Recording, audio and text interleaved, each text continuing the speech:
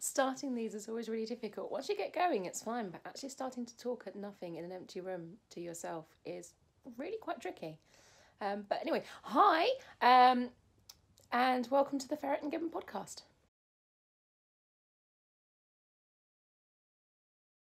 Hello, everyone, and welcome to episode six of the Ferret and Gibbon podcast. Um, welcome to my space where I can, where I can, where I do um, waffle on about um, knitting and other crafty projects and what I've been up to and the state of the world and stuff like that. For people who've seen me before, thank you very much and welcome back. Um, for newbies, the potted history of me is that my name is Claire. I live um, in Hastings on the south coast of England. I work for an environmental charity as my day job. I am a member of a local drumming group and I like to knit and craft and yeah, stuff. I think that's why you're here, isn't it? Yeah. So, what I I have a few practically finished projects to show you today. A work in progress, some planned knitting, some refound stash, and a couple of and and a pledge to stop buying more yarn, sort of ish. We'll come to that. but anyway, um, I have left the first project that I wanted to show you in a different bag. So let me pause and go and get that first. and there was me thinking I got myself all organised this week. No, not at all. Anyway, so the first project that I have wanted to show you is the Kothbiro shawl that I had I hadn't cast it on last time, but I'd shown you the colour combinations. So this is the project that I'm doing where I'm making it out of the the black, the cream and the green yarns that I showed off last time. So the black and the cream are, um, they are Manos del Uruguay, the silk blend, so soft and squishy. And then the green is a sturdy DK by um, Chromatic Yarns in the Dagon colourway. Um, and I hadn't originally bought them to work together, but they work are working really nicely together. And so if I show you the shawl that they are currently turning into.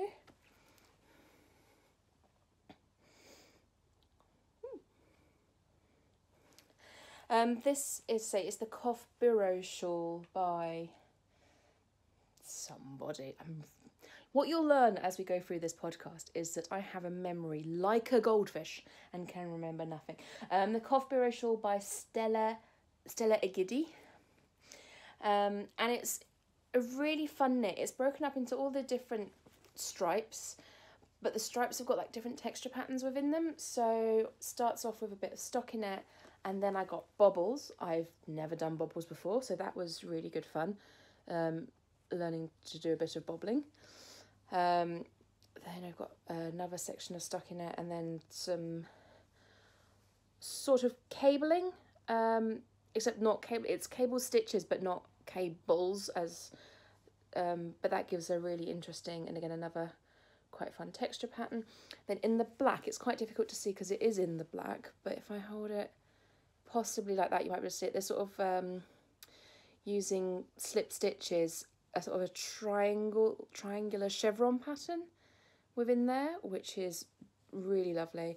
Um, I've just finished another stocking uh, stockingette section, and I'm not sure what comes up next, but the next is a white stripe.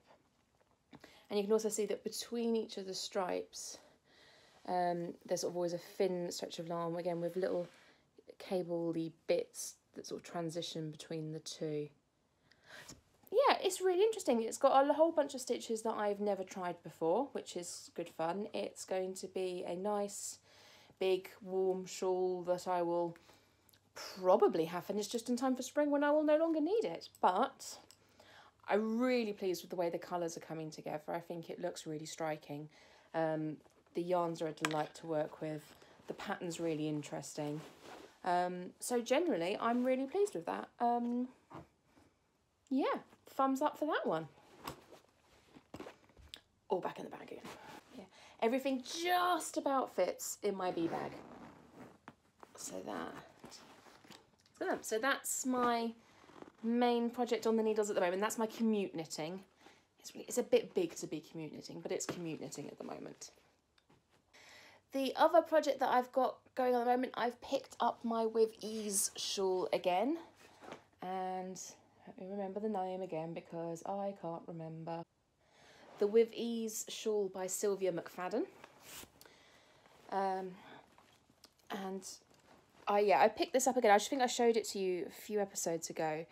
Um, it is a grey and yellow shawl with again a really lovely texture pattern on it. Um, the design itself is actually just a single colour design, but I had some yellow to match the grey and I thought I'd add a splash of colour in it. So I'm just doing every couple of pattern repeats, I'm just putting a little bit of extra yellow into it because I can. Um, I really enjoy knitting this. It's going to be, again, delightful and squishy. This is, again, another nice heavyweight shawl that I will, again, no doubt finish just as the weather starts getting nicer again. I'll have everything ready for next year. It'll be wonderful. Um, I have had a minor issue on this one. So I started making it. I bought, a little while ago, I made, I wanted to make myself a really nice hat. And I bought um, two skeins of the grey and two skeins of the yellow of this, which is Malabrigo worsted, I think. Yes, Malabrigo worsted. Um, because I'm I was rubbish at getting the right amount of yarn for, for anything, so I thought it was a, essentially it was a one skein pattern. I bought four skeins of yarn for it, two grey and two yellow, but the plan was to make a big pom pom out of one of the skeins, which I haven't done. Um, which meant that by the time I'd finished my bright yellow hat, which I love and I will show you at some point, um, once I'd finished that, I had three skeins of yarn left over, two grey and one yellow. So, or two grey and almost one whole yellow. I might have touched a little bit the second skein. I can't remember. Um, and that's when I started making this, and I thought, oh, this is really nice.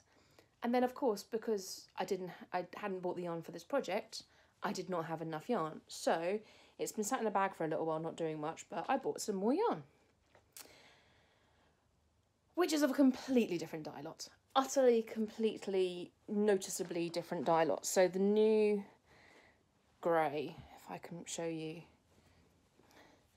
the old grey and the new grey, same colourway, very noticeably a different dye lot which is a bit disappointing because I really like this grey. I mean, I like this one, but it's not what I started out with. And because I hadn't been thinking about this at all, I had knit right up until the end of my first grey, and therefore I couldn't sort of didn't have any any grey left to alternate in, so I was gonna then frog back, and then alternate some in. But with all of the yarn overs and increases, I've only just started being able to confidently pick up stockinette stitch. I'm not at the stage yet where I can confidently go back and pick up, um, yeah, all those yarn overs and all those decreases and make sure I actually have the right number of stitches at the end. So I decided instead that what I would do to transition from one colour to the other is say fuck it and just change. I mean, look at that transition. That is a really noticeable transition. But I'm calling it a design feature. It's going to be a short. If it was in the middle of a jumper or something like that, I think I would have a much bigger issue with this. But it's a shawl. The way when I'm wearing it, it's all twisted round. It just look like a stripe. It'll be fine. I'm sure it'll be fine. Um, so yeah, so we're going with massive noticeable change in colour for this which is a real shame, but life is too short to give too much of a shit about it. So that is where I'm at with this one. So I think the last time I showed it, when I first showed it to you, I was about here. I've picked up about about a whole pattern repeat and a bit since then. And I, I do love the pattern. I think the shawl's going to be stunning. And I think when I hold it further away and wrap it round, it will look like a it'll look like a design feature. Hopefully. Not, it'll just be delightfully warm anyway, regardless of what it ends up looking like. And looking at the other skeins that I've picked up to finish it off with, there's quite a lot of colour variation in these ones as well. So I say that one's got noticeably blue bits and I might I should probably I should probably alternate skeins for the rest of it. Whether I will or not is another issue. I probably should. But yes, this is a very, very grey, um, blue, a very blue grey dye lot compared to the original, which was much more of a silvery grey. But hey, this is what happens when you make stuff out of leftover yarn, when you didn't, didn't buy enough for the project to start with. Let this be a lesson for everybody else. Learn from my mistakes. Always buy extra yarn. Always buy extra yarn. That's really bad idea. Don't buy extra. Always buy extra yarn. So those are my two on the go projects at the moment. Both two nice heavyweight shawls. So let's show you some almost finished objects. I mean, they're practically finished. Bar sewing in the ends. I hate sewing in the ends.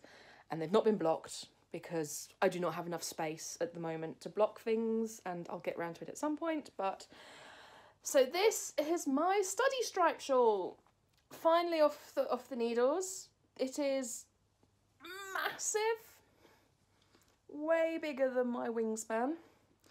Um so and you've so you sort of seen me working on this a, a few times as i've mentioned before i started off let's see where's the start up here i started off following the pattern exactly um where sort of going starting off with the grey and then stripes of colour with little bands of grey in between and this is using the grey is West Yorkshire Spinners signature four ply and the colours are Fibre Fox's Blackberry Picking Mini Skein set.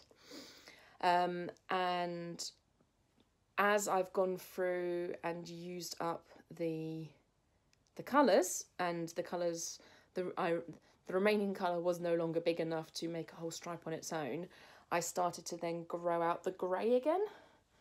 If you can sort of see, I mean, I can't see what you can see because I've now got a, whole huge shawl between me and the camera, but I'm going to hope vaguely that you can see that.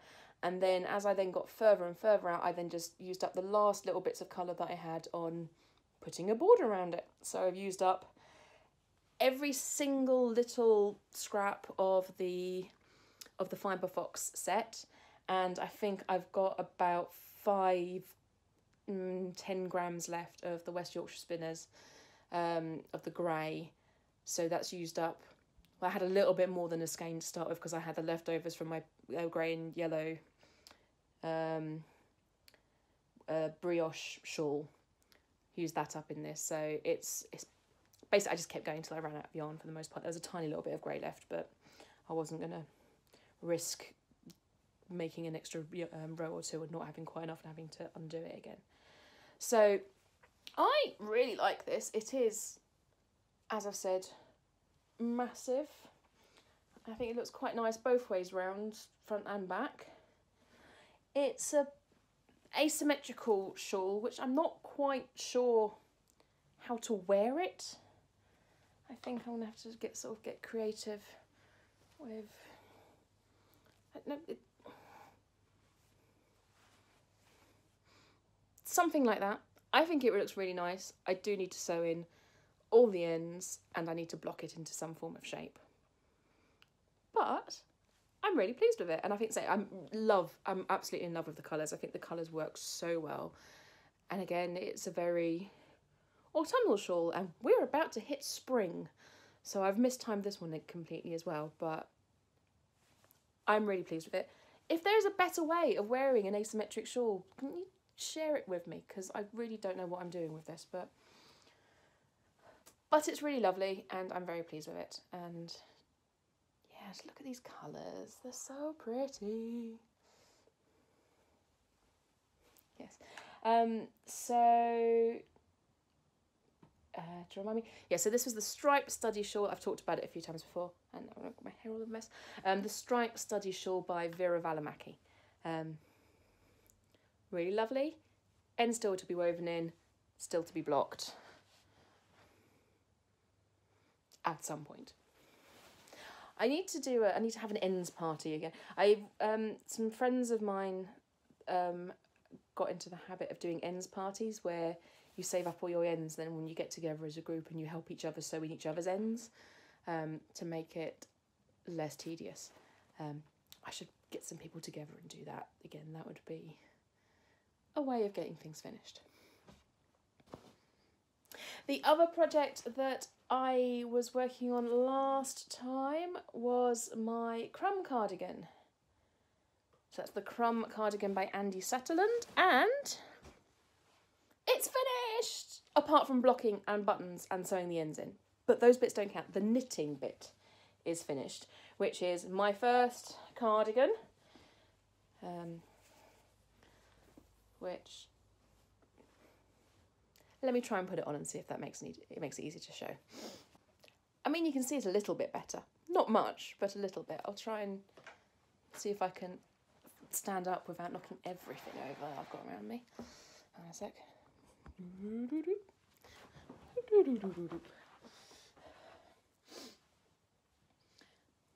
Cardigan! um, I'm really pleased with this. So, I, as I said, it needs blocking, it needs buttons, which I think will then give it a bit of a better shape. The arms are a bit baggy up here. I had a bit of, um, yeah, I had a bit of a thing with the arms, which I'll talk about in a minute. Um, but I really, I like the croppedness. As I've mentioned before, I, I tend to wear quite a lot of dresses, so having something that then allows the dress to flare out from underneath it, I quite like that. Um, it was really easy for the most part. Um, come back down. Um, yeah, so it's quite a simple. It's mostly stockinette stitch. It has got the um, it's got this sort of lace pattern around all the edges, around the sleeves, and around the collar and down the front. Um, apart from that, it's fairly simple. Um, I found it, I say, quite an easy knit, apart from picking up stitches, especially for the armholes, but also across the neck. Um, turns out I really hate picking up stitches. Um, when it came to the armholes, because I'm knitting, obviously knitting plus sizes, um, there's a lot of stitches to pick up.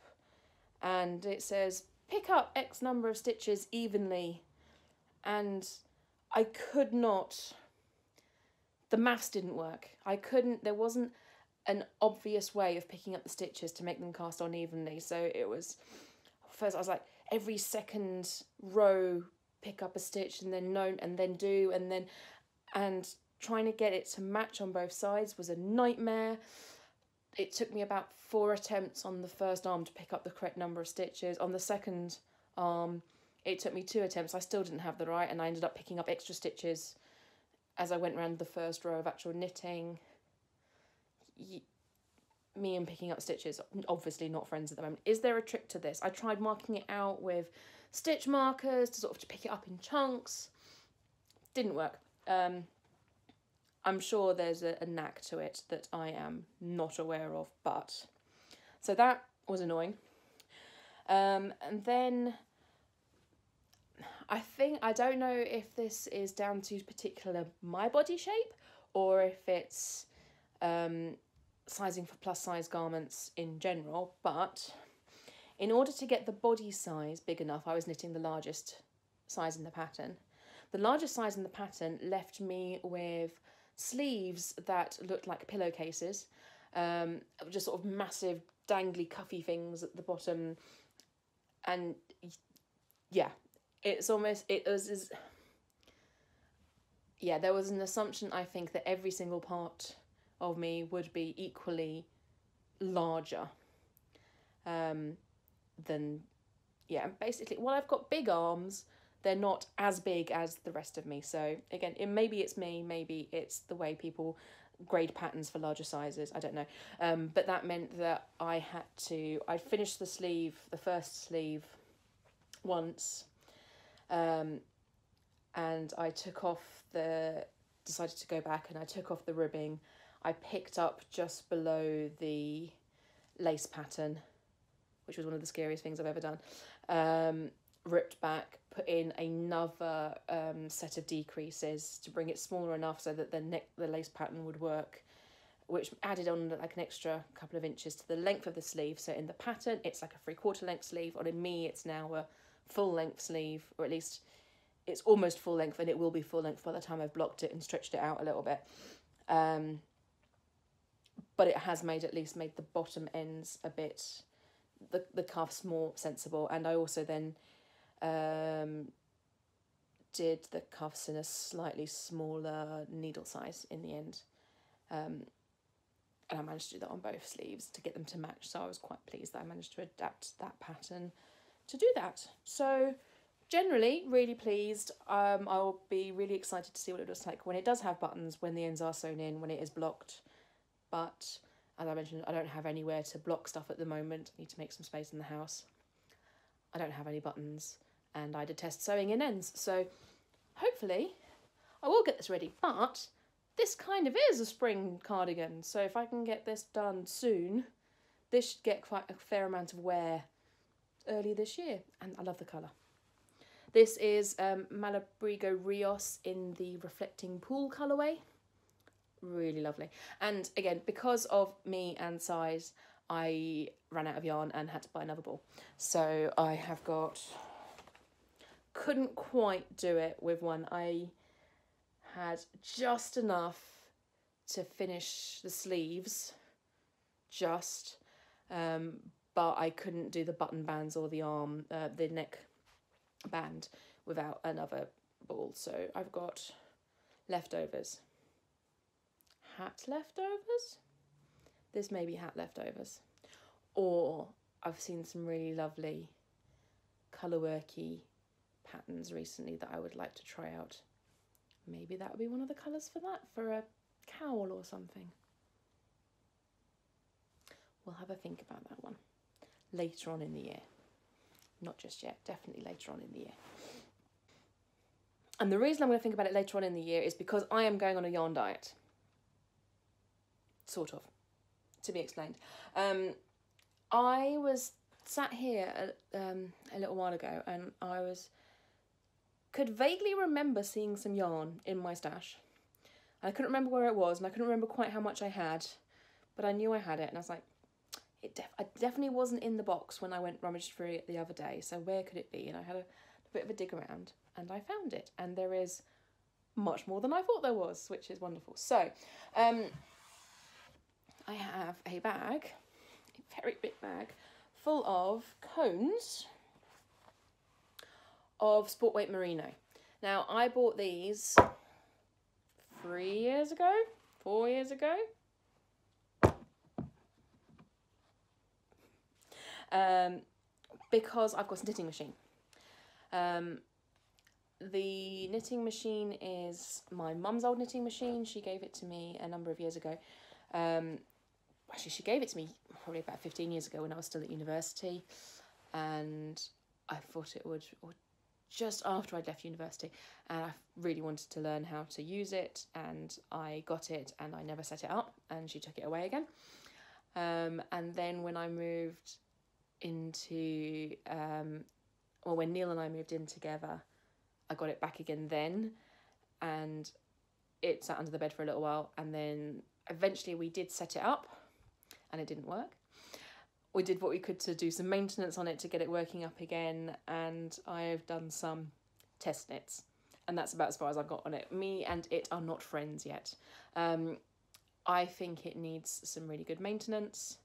It, I need to find someone who can basically give it a full overhaul. It is an old machine. It is lovely, but it's an old machine, and I don't have the skills to give it the the TLC that it needs just yet and I could really do with going on a knitting machine course somewhere to actually teach me to well how, what to do because I don't know what I'm doing and my mum my mum used to use it all the time but she's kind of it's been 30 years since she's used it consistently and she can't really remember what to do and how to make it work lovely. So I went with all the joy of overspending and stash acquisition and bought loads of yarn on cones to use. I mean, loads of yarn on cones to use with the knitting machine. More. Um, this is just one bag. There's another bag. Um, and look at it. All the yarn. It's so pretty. Um, I mean, I love it, but um, because me and the machine have not been getting on, um, I haven't barely used any of it. So, I mean, for the time being, let's accept the fact that the knitting machine isn't going to happen and let's just use the yarn because I have got a lot of it. There is 1600 meters on each of these cones. I have, of this particular one, six cones of sport weight merino. There's got to be something fun I can do with this, right? So I found a pattern for a stripy cardigan that I quite like the look of. I will try and share a photo of that here. That is the um, Marco Polo cardigan by Ela, Ela Torrente. Um, I quite like the shape of it. I thought one of the greys, not sure which one, but one of the two greys and then the colours are stripes, do multicolour stripes. Why not? That could be a bit of fun. And get into this cardigan lol. Um, so that's one set of, of yarn that I found and so this is part of why I'm about to go on a vaguely enforced yarn diet is to get me to use some of this wonderful stash that I've got.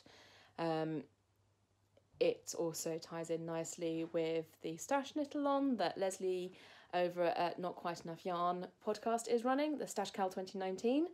Um, so yes, I will use some of this up. What I also found, because when I get into something, I get overexcited. Um, oh look, I bought more yarn on cones because eBay and I don't really know what I'm doing. I went, oh, yarn on cones, and I didn't really know what weight it was or anything about it really. So I have these, which are another three, which are quite difficult to see. It's sort of a, a maroon, a grey, and a black or possibly very dark blue. I can't make my mind up which colour that middle one actually is depends on which light I see it as to whether I think it's black or dark blue. Um, but I have these, and these have got, oh, God knows how much on them. Um, I did manage to work it out. Uh, these have got over 7,000 metres per cone, but they are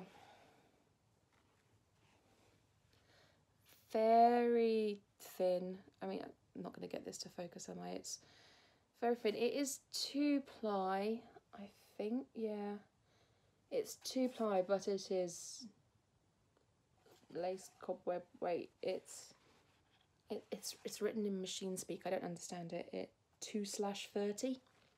Um, I know that means something. I can't remember what that means.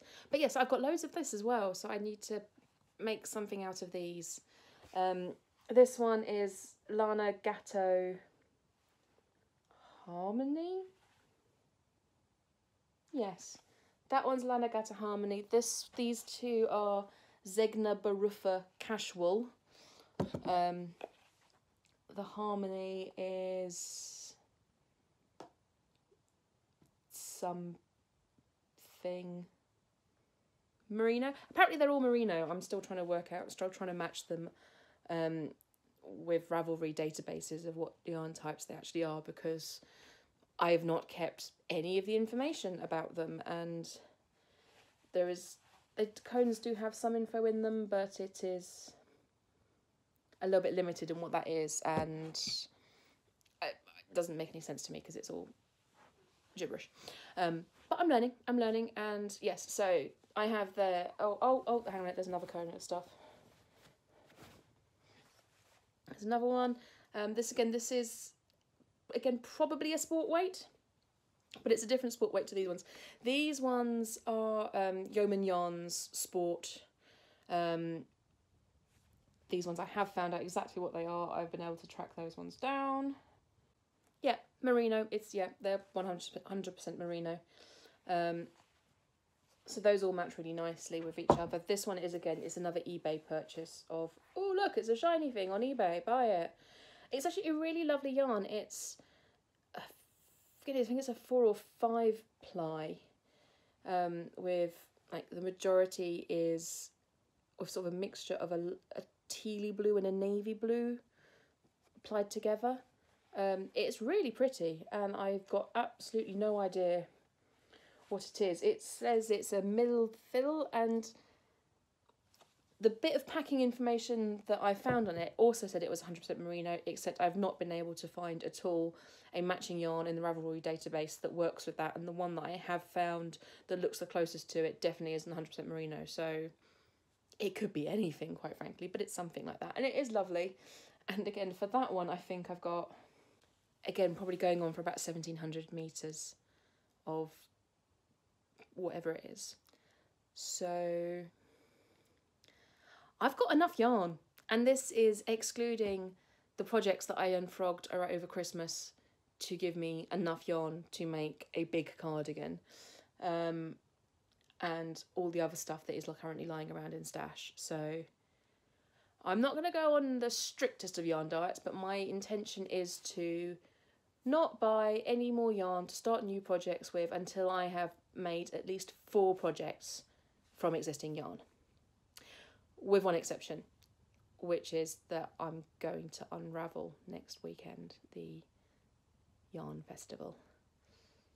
So once I've got back from Unravel, I will be going on the yarn diet. Unravel is the first yarn festival, sort of proper yarn yarn festival that I've gone to. I've been to the um, knitting and stitching show before quite a few times um, with other with friends that are sort of more stitchers than um, knitters, um, and that has been great fun. But um, I'm really looking forward to going to Unravel because I think there's going to be a lot more um, hand dyed yarn there, and yeah, really interested to see who's exhibiting and what's going on there. Um, yeah, I'm meeting some friends, going down with some friends. Um, that I don't think they've been to yarn festivals before at all. So I'll be quite excited to see what they get into. I don't even know if they've had much exposure to hand dyed yarn of any description yet, so it'll be really interesting to see what they make of it. So yes, looking forward to going to see Unravel. I need to get back from it as quickly as possible afterwards because I'm meeting my drumming group for dinner that night as well. So uh, that weekend should be really good fun. I'm looking forward to it. Neil's going off to see his dad uh, for the weekend because it's his dad's birthday, so I get to have a fun weekend of yarn and drumming, which is kind of my dream space. So, yeah, that should be really good. I wanted to say a very quick thing. Um, obviously, we've been talking within the knitting space and especially the knitting Instagram space about uh, diversity within the knitting community and the oppression that black people and people of colour um, and in black indigenous people of colour are facing within the community, the difficulties, the misrepresentation. And I have heard that there have been quite a few, um, especially white women, um, saying, oh, sorry, can we get back to knitting now? And I a, don't say that, and B, it is perfectly possible to knit and be political at the same time. There's nothing that says that you have to stop knitting in order to be anti racism, um, to stand up for black people, people of colour within the knitting community. You can knit and do that at the same time. You know, you do knit nights, you can knit and talk at the same time. There is nothing that stops you from being political and knitting at the same time. And I don't think that anyone within my tiny little bubble of this podcast has been saying that. But hearing that people have been saying that has been making me really angry. And I can imagine that it's making um, black, indigenous people of colour really fucking furious and deservedly so. So, yes, we can knit and we can be political and we can be angry at the same time. So, let's just do that and then we can knit and have all the pretty shiny things and smash racism and patriarchy and oppression and sexism and all of those other things at the same time. And yeah, it doesn't have to be a one or the other thing, we can do both. That just wanted to say that. I think that's quite important for me to say. The final thing that I did want to say today is I've finally joined my local um, community's uh, knit night. There is a knit night around here on sort of every couple of weeks on a Wednesday evening, and I finally last week went along to my first meeting. Um, I went along with um, met Leslie over there um, from the Not Quite Enough Yarn podcast. I mention her quite often because uh, she's a good friend of mine. She is also a drummer, and she's sort of introduced me to this to this knit night. Um, I would say that walking through the doors of the knit night on my own Leslie was already there. Um, I knew she was going to be there, which was which was good. But um, walking through the doors on my own to that knit night was one of the scariest things that I've done since I walked through the doors of the drumming practice session for the very first time on my own. I'm I'm not good at meeting new people. I'm scared. Scared of people generally. They terrify me. Um, not good in that kind of social situation, but I did really enjoy it. It was lovely to meet so many people. So hello to anyone that's watching. Hi. Um, I really enjoyed Knit Night. I'm looking forward to coming back again, and I hope to get to know you all um, much better in the future. And thank you for having me and for making me feel really welcome, despite me being shit scared when I walked through the door. Uh, okay, so that's everything from me today. Um, so we had some almost finished projects. I will try and get them blocked and actually properly finished at some point. Um, maybe by the next time. I will hopefully have some shiny unravel goodies to share with you next time. And um, yeah. I'm really, I basically, I'm really enjoying having my knitting mojo back. I lost it for a couple of years, where I sort of do bits and pieces, but not much. And I'm really enjoying having that mojo back and feeling quite productive with knitting. I might not be making as much as some people, but I'm managing to get through quite a lot of stuff and keep things on the go and keep the momentum going. And I'm really enjoying that at the moment. And um, the podcasting community is a huge part of that. That's keeping me motivated and keeping me keeping me knitting. So thank you very much for that. Really appreciate you all for taking the time to come and watch this. Um, if you have any questions, please feel free to leave comments below, or if you want to um, catch up with me over on Instagram. I'm Ferret and Gibbon on Instagram. Um, there'll be links at the end. Um, you can also find me on Ravelry as merialc. Um, and I'm on Twitter as merialc as well. And yeah, that's me. Um, please feel free to chat to me anywhere you fancy chatting to me. And say any questions about anything you fancy, um, please feel free to drop me a line. Um, lovely to see you all, and I hope to see you again soon. Bye.